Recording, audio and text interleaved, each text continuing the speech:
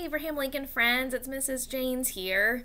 Um, I just wanted to start by saying how much I miss everybody. Um, I hope you guys are having fun at home with your parents or grandparents or whoever's taking care of you.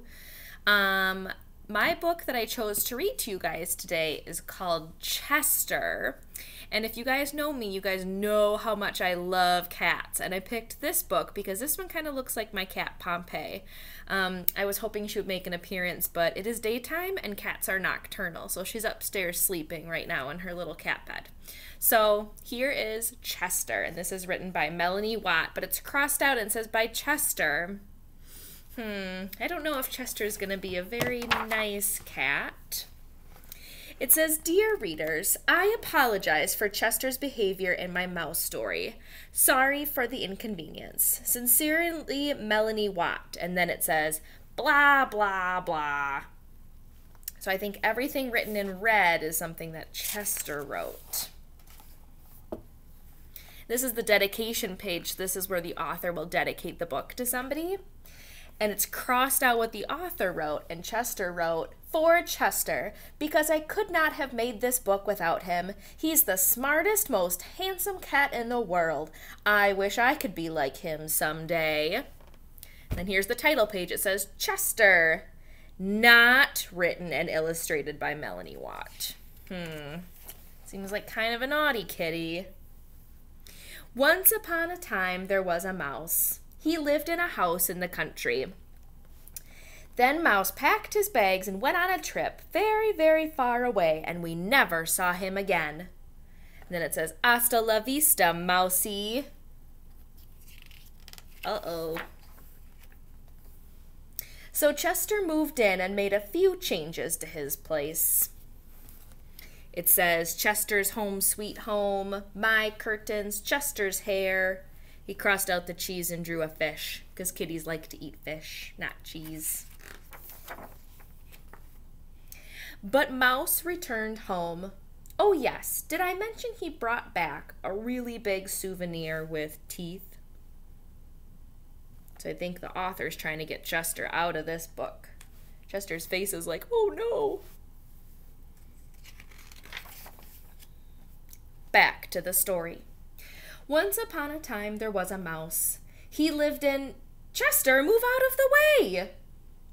He lived in the country with his vegetarian dog who only ate carrots.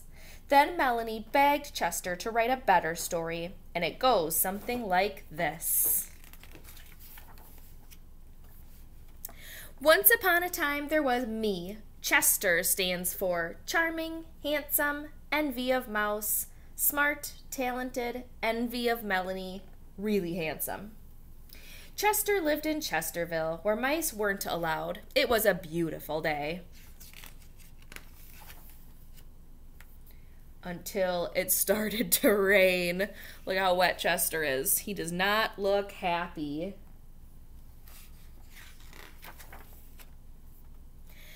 Now, as I was saying, once upon a time there was a mouse. He lived in a house in the country. And then Chester wrote really tiny down here. And he lived happily ever after. The end. The mouse says, I can't work like this. Chester, this is where I draw the line. Nope, I'm drawing the line. Do not cross this line. Keep out, Chester's side. Chester's not being very nice to this author. Chester, that's enough. Hand over the markers this instant. Chester's busy. Hi, I'm Melanie Watt, and I'm very angry. Hello, I'm boring and I'm jealous of Chester, says the little mouse. Chester, I'm warning you. Hand over the marker and apologize before I count to three. One, two, three, and then Chester wrote, and 4, 5, 6, 7, 8, 9, 10, 11, 12, 13, 14, 15, 16, 17, 18, 19, 20, 21, 20. Ah! All right, Chester, you want your own story? You want to be the star of this book? Well, get ready. Here it is. Chester says, finally. Once upon a time, there was a cat named Chester. He lived in a house in the country. Chester was a very handsome cat, especially when he wore pink. And then Chester wrote, You wouldn't. Toot toot. Chester says, Now it's personal. Look how funny Chester looks with a little tutu on